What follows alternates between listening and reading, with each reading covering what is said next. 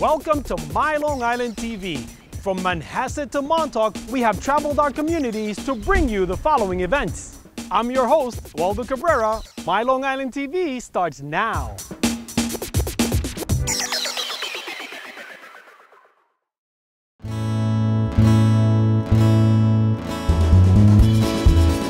What we got set up here today is a, a line shaft, what we would normally would have in a factory. Uh, you would have one engine or big steam engine, gasoline engine set up outside, and this line shaft would run the length of the building. And then off of that shaft, you would have many pulleys running various pieces of equipment. In this case, we have a short one, and we're running a whole series of uh, blowers. The big blue one here with the sock on it, that came out of a factory in Massachusetts uh, with a hat factory, and they used it for sucking the dust out of the factory and ventilating a room. The red one was used like in a big pole furnace. They were in the factory when you make for making steam, you would have to force air into the coal.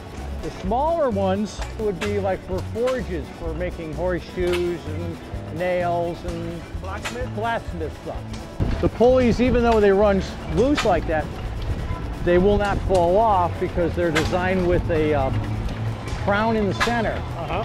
And then the belts will always want to ride to the high point of the, of the uh, pulley.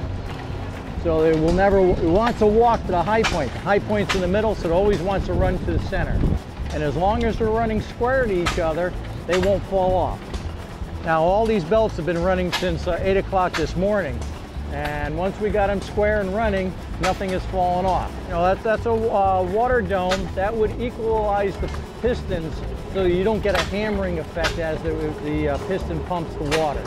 It would actually form uh, an air dome inside. That popping noise is the only time the engine actually fires. The style is, is uh, hit and miss. It only fires when it needs to to maintain a set RPM. Since there's no major load here, the engine is firing about every four cycles. So it's not using any fuel. The big flywheels actually is what keeps everything running.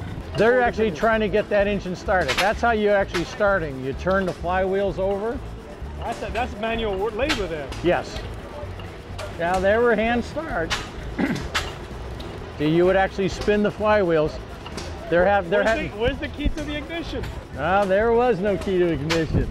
Well, I, I started collecting these engines uh, in 1973 was when I got my first one. I was with a friend. They were, his father was retiring and they were cleaning out the old fa family barn. And he says, you want this thing, take it or it's going in the dumpster. So I ended up taking it, putting it down in my father's cellar. 1988, I dug it out, restored it, and that's what started from one. Now I have many. And then once you got an engine running, you always have to have something to run on that engine. And I started collecting water pumps, and then I started collecting the different blowers. Once I started collecting the blowers, uh, when you get one, somebody else says you have, well, we have one, you get two, now two becomes a collection, and eventually you end up with, you know, I probably got over a dozen of them in various stages of repair and waiting to be repaired.